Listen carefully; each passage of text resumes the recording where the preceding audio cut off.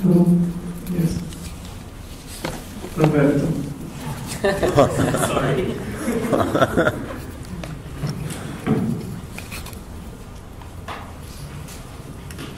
Sorry, thank you so much for uh, all your presentations and uh, for, uh, well, to contribute to this discussion. I have a question for you. Uh, in the beginning of, of, your presentation, you give the impression that uh, we have to do away with governments, that governments don't really have, well, being very pragmatic, they're not doing much, and therefore we should just forget about them and carry on. Is that what you think, or did I understand? Uh, let's say that this is uh, what we are doing. Like I'm quite proud to say that in the five years or four years I've been working in Delhi, anything I kind of facilitate or build didn't get one approval by the government, including our office.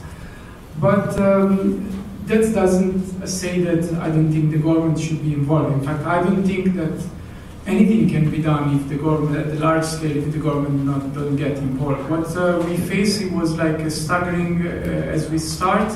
We couldn't do anything with the government, and so we realized that we needed to find a way to do something without the government, just to show that things can be done. So we are act. I didn't go in my short presentation into the debate of all the planning and what needs to be done to make this space also like at the urban planning level like more uh, inclusive and efficient. But we are using this kind of small achievement uh, to then do policy advocacy with the government. Like for us, like training Mason, uh, now we are uh, doing a proposal research with the J-PAL of MIT. He will be a way to um, to get data to say this can work, this could be the way, and then hopefully uh, have the government like to implement this kind of thing. So it's a way really to, to get data to do policy advocacy.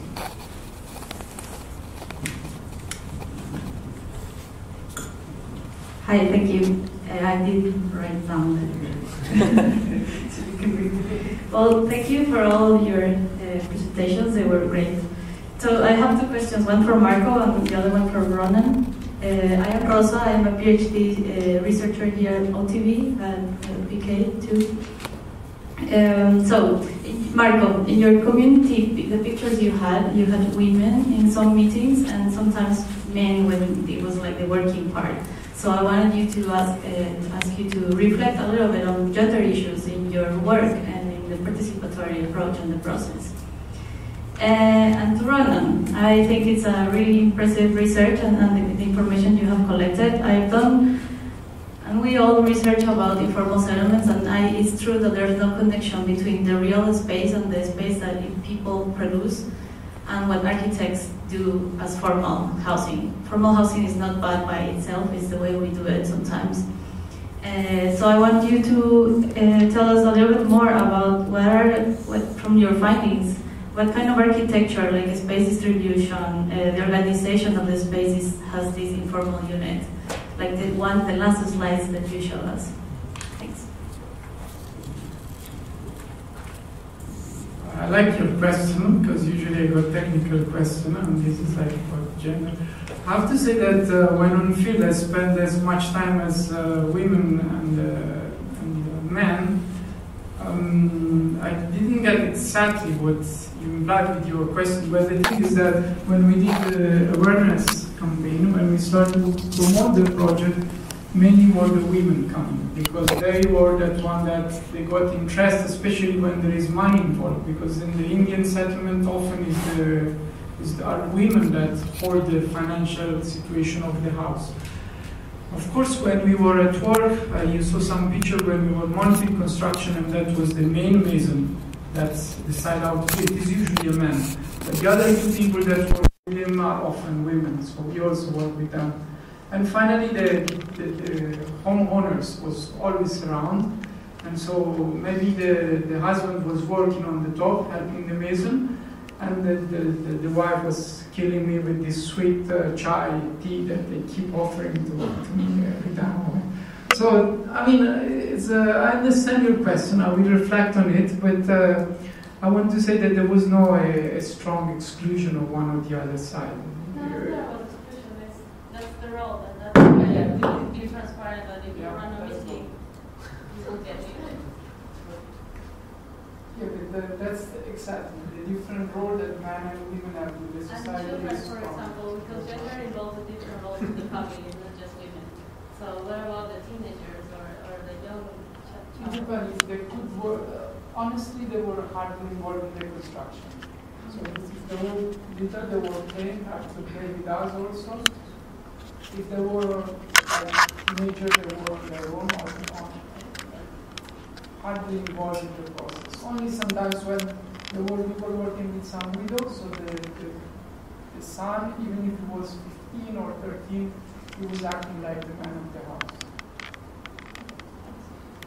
Uh, for your question, I just want to clarify, you wanted to point out the differences between the formal housing and how it's uh, informal settlement? No, just to explain a little bit more about the architecture of the, the informal.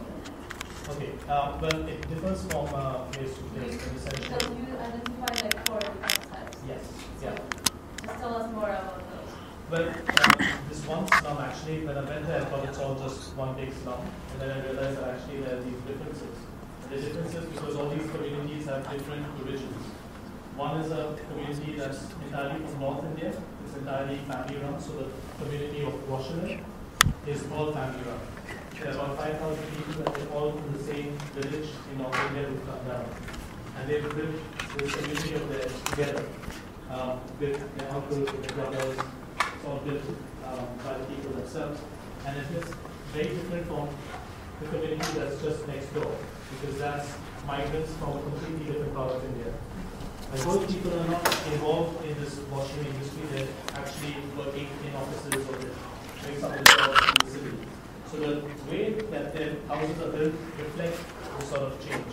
So the washermen really need the roofs, so they don't have any sloping roofs because they need the roofs to get on top, to dry the clothes, or to store materials.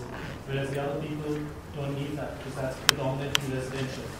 So what they need is actually completely different from what the washerman community needs. They might need maybe access to a school, or they might need um, better roads or better sanitation, but what the community needs is completely different. They need space to actually carry out doing what they're doing. So there are these differences that exist, and they all sort of coexist.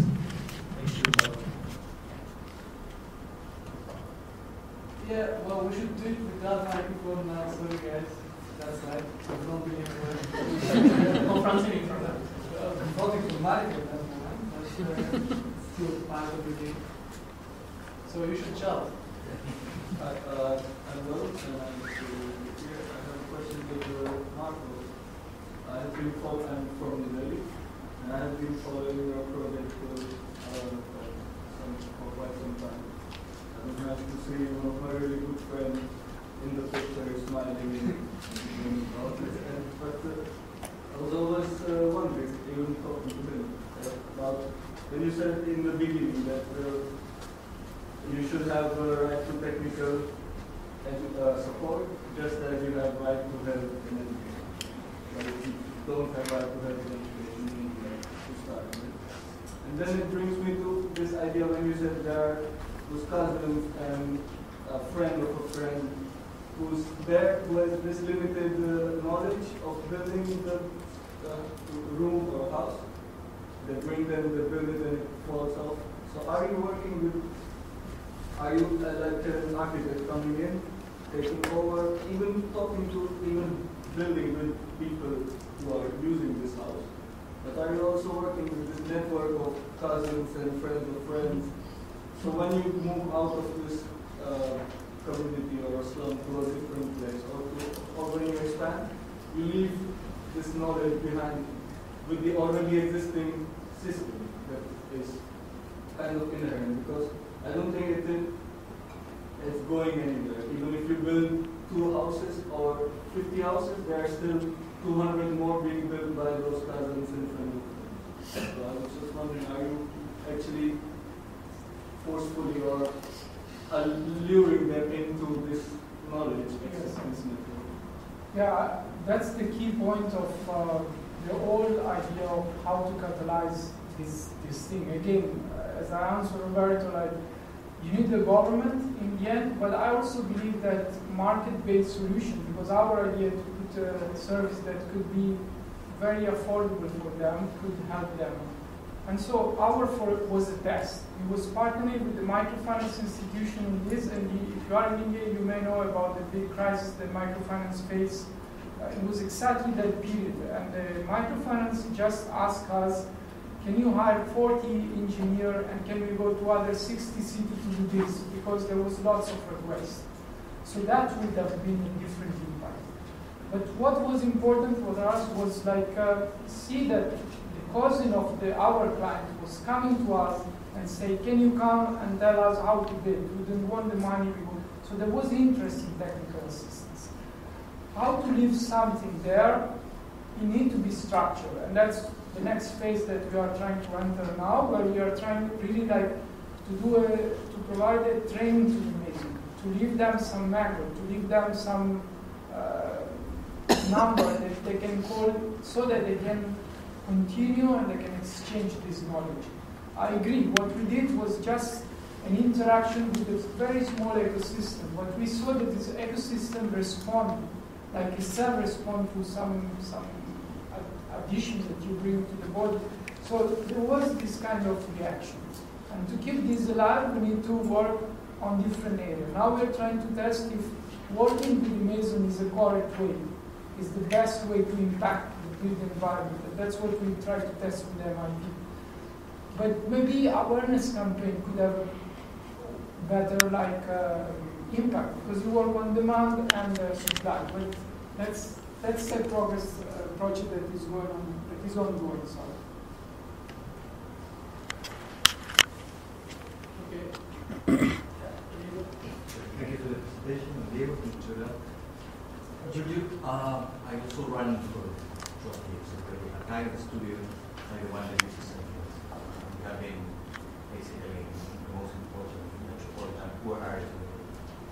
But for me, one of the key aspects that challenge the work that we do is uh, and design, is the role of the design as a communication tool within this kind of what was before action, uh, action research, there is this kind of knowledge transfer in very short time within um, a client business of of demand and demand. How, how, how do you use this the, the design within as a communication tool? How, how in a way is expressed between the, the, the, the operability of, of, of your knowledge transfer mean as a communication tool on the field? on the field?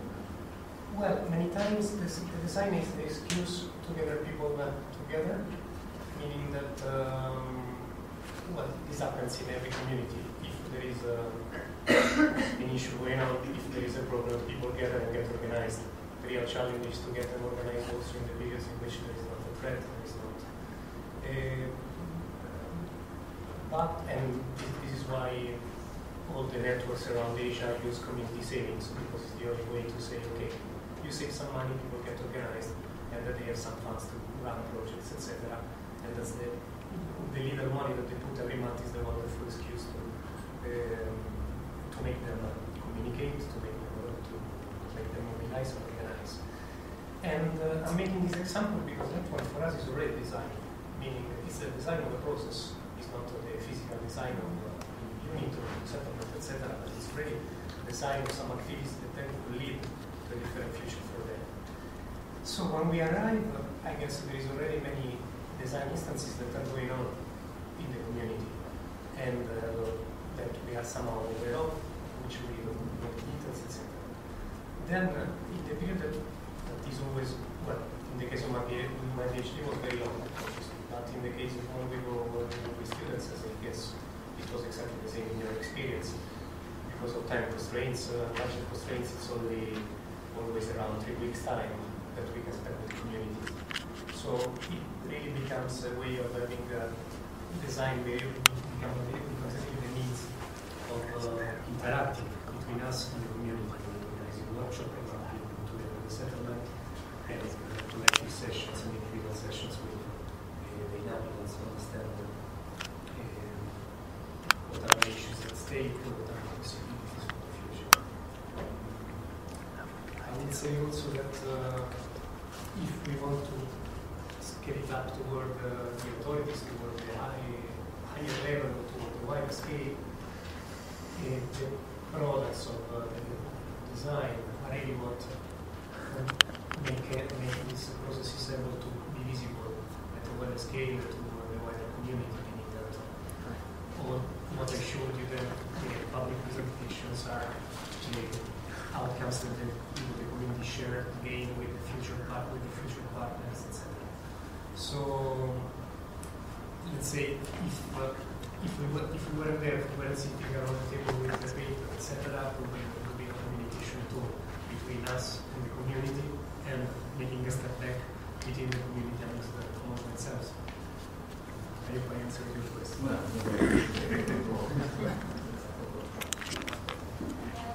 One last question, it should be last, but can you give the floor to somebody else Is that in in the paper? Yeah. Uh, hello, I'm Tara Samaru from the University of Amsterdam. And uh, my uh, PhD research is on, I don't know, I still haven't uh, decided on the term. Formal settlement substandard, uh, peripheral, uh, low income. Um, and uh, yeah, so I think Marco brought up uh, this issue of uh, not agreeing with the word informal and taking it rather into a non-formal. I mean, I don't know. This question can be open to all the speakers. Yeah, I mean, which term is most appropriately fitting to the issues that we're looking to solve, and uh, why so? Yeah. In fact, to answer this, honestly, is- I mean, not, not to be rude, but I don't care much. In the way that I think I leave this to the, I don't know, definition, academic. What I need to understand is what are uh, the differences between. Like just to give you an example, we were called by the World Bank to help them in a project. So we had to do a study, and they told, they asked us to to do something with a slum. What does it mean a slum? It doesn't make any sense. It's like it can be like the three guys that put a house like below a bridge, but it can be this that uh, you can't call it the same thing. And there are many official documents that talk about a slum in this way. It's like to tell a person, hey, you are sick, get a cure, and you don't have anything. How can you cure that? So in that case, we went and we do a classification that now they are using for something uh, because it was related to providing loan to the informal sector, still informal sector. Then we use like parameters that were related to the um, ownership of land and uh, to the I mean everything related to the legal legality of land where these settlements were. We can type A, B, C, D. It could be called differently, but I think what again is more important is to understand what are the exact characteristics that can help us uh, to, support this, or if they're already working, like you can just catalog this. I don't know if I explained, but it's really not a matter of name, it's a matter of understanding. We can follow it up with a coffee, but I, I see in my research that often this term becomes so important because it uh, essentially results in certain way these settlements are dealt with. So that's why this terminology, I mean, there's the jargon of some cities, yeah. So, yeah. Just quickly, yeah, Yeah. when the government is regularized, regular, regularizing, yeah, sorry, some settlement, like urban village or something else, they call them regularized, unauthorized holiday. So they retain the negative connection, uh, the, the negative like terminology. So there is definitely a political kind of vision behind the name that is given to this, and that's so this is a long uh, story. It's not a cross Uh, yeah, There is a Regularize there something. is legal, there is unauthorized, Yeah, and second, yeah. important is to keep in mind that usually it's used in negative connotation. Yeah, yeah, yeah. And we should emancipate it toward the, the word from uh, this negative connotation. But in Cambodia, the government used temporary settlements. They've been there for 30 years or 40. So temporary settlements, but it's a way to say to, to justify the fact that sooner or later they will go. because they will be raised. ask you? Yeah, uh, I would like just class for, for the vid because we don't want to. Uh, So that not- Question. Yeah, question? Okay. Or Go. now the discussion is going towards how to get things done, which is, was one of our primary goals as well. But then, David, you once mentioned that uh, you raised, uh, you gained commitment on the process. It was one project with this square, and I think it was one of the maybe the skateboard or even before. So you gained commitment. You started very small, very small part, but it just happened. So could you elaborate on how you get commitment to to get a project done in such a way? Well, it's, it's like um, most of the projects I showed started with very, they were not uh, ambitious at the beginning, and it was like uh, the, the, as the resources are not there, uh, you, some community, some collective, some uh, uh, group of human uh, beings have the idea and the, the goal to, to promote some kind of situation, but at the beginning they don't know where we were we are going to be able to get. It's, it's, uh, it's so uh, it's the kind of a process, an adventure. So you you you get to the. mm, I mean, you, it's more like the the the trajectory than, than the goal. And for example, uh, with the with the two skate parks, with the first one and with the second one happened more or less the same. When we were called to help with the process, the idea was to do a simple thing because we were thinking about getting, I don't know, about 10, 20,000 euros. Finally, through self-construction, self-building, and also through recycling, but very, very much also because of this kind of uh, collective illusion, this kind of you know motivation that goes on.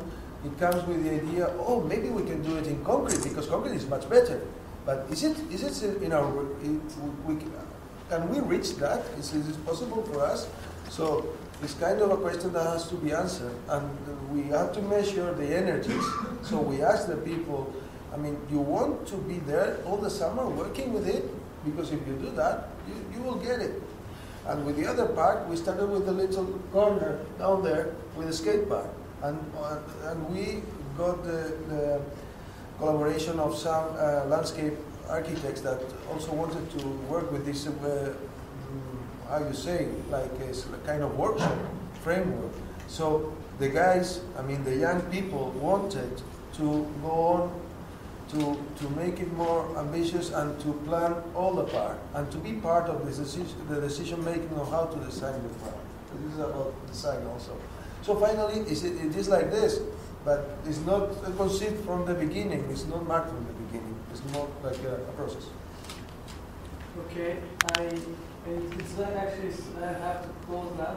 So uh, it's uh, it's very nice to see that there are a lot of questions, but we will have a more uh, a longer discussion as well after the next session's presentation. But now we, we have to go for a break, drink coffee, refresh. We can continue. Once more, I can uh, just really thank uh, thank you to our uh, thank you to our wonderful.